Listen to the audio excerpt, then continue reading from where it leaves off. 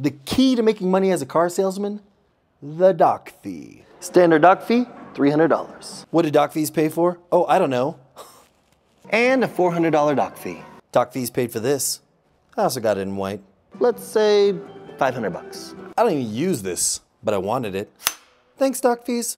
You know, for you two, doc fee is just $400. You remind me of my grandparents. I don't know why I'm a sucker. Don't pay doc fees. Buy better. Buy Hinckley.